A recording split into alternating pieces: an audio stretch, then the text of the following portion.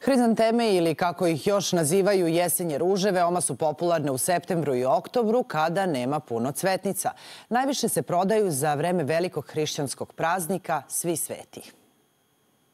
Ova godina zbog suše i visokih temperatura nije pogodovala za proizvodnju hrizantema.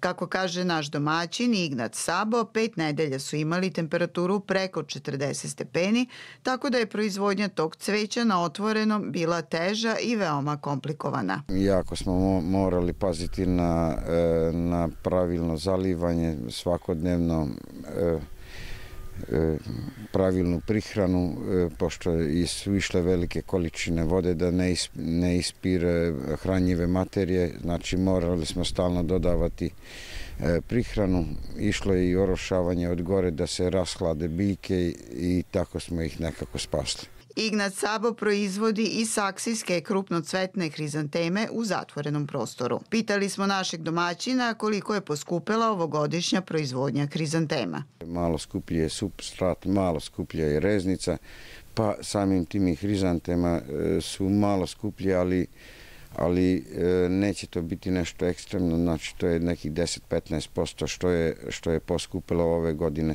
Kupci već tradicionalno naručuju hrizanteme kako za bašto, tako i za veliki hrišćanski praznik Svi sveti.